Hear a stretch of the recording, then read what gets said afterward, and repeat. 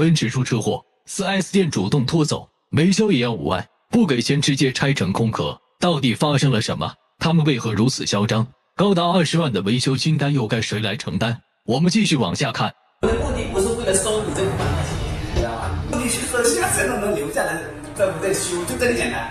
这位陈先生就是奔驰车的车主。前几天车发生了意外，还没来得及思考如何进行下一步的他，率先接到了 4S 店的电话，随即就将车拖到了店里。这原本没有什么不妥，只是 4S 店是如何知道自己电话，且第一时间知道车发生事故的？一个一个疑问围绕在脑际。难道豪车的待遇就如此之高吗？可能知道结果后，一切猜测便迎刃而解。事情压根没有陈先生想象的那么简单。这一切还需从车祸发生的那一刻开始说起。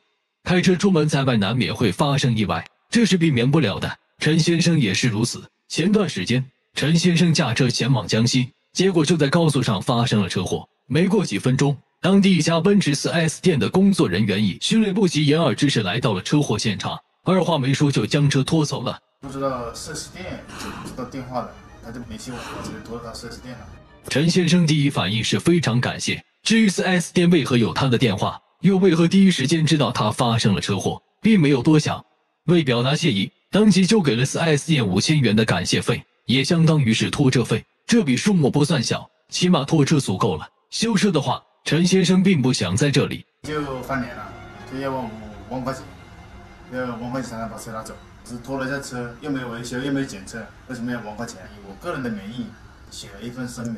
说是我自愿的，但令人万万没有想到的是，4S 店竟然强买强卖，强行索要五万元的拆检费，这让陈先生很是生气。好好的设备大卸八块，还没有算账，现在进张口就要五万，未免太过分了。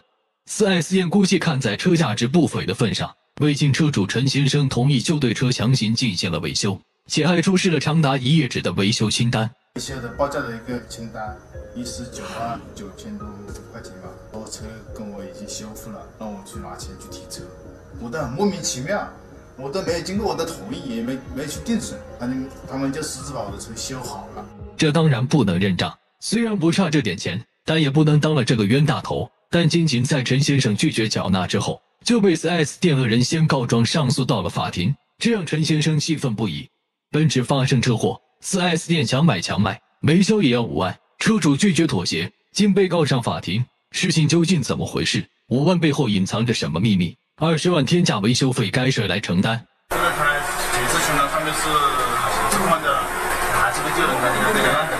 这个看检测清单上面是正换的，还是烂的，完全还是烂的。发动机不该修的，呃，不该换的还换了，那个发动机两三万块钱，那个发动机的那个架子支架断裂了，他们也没换。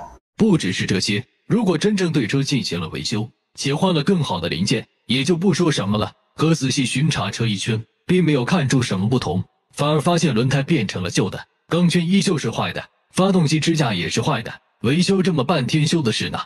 所谓的维修费瞬间变得荒唐。五万是他们四 S 店的规定，并不是车主的决定。可四 S 店上诉法院的举动，无疑想给陈先生扣上不讲理的帽子。但大家都不是好欺负的。既然四 S 店不仁，那也不能怪别人无意。陈先生随即向当地市场监管总局投诉。经调查发现四 S 店不仅涉嫌捆绑销售，且还偷工减料，这是赤裸裸的敲诈。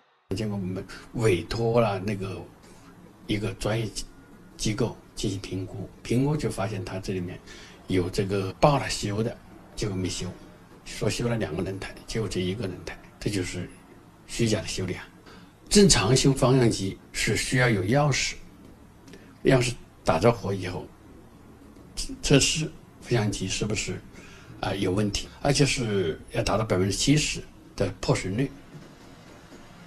如果是没有，你这犯了，这属于最起码说是一个不规范。眼看着事情暴露在眼前，4S 店顿时没了嚣张的气焰，收回了当时的锋芒，也打算撤诉，但还未给陈先生一个准确的答复。自作主张拆卸汽车，已经踩在了底线上。事故发生还未满二十四小时，车就变成了那样。看得出来，这是工作人员加班加点完成的，为的就是让陈先生多出一笔费用。他们不会放过任何一个敲诈的所有钱人的机会，只是有钱人也不傻，更不会给他们敲诈的机会。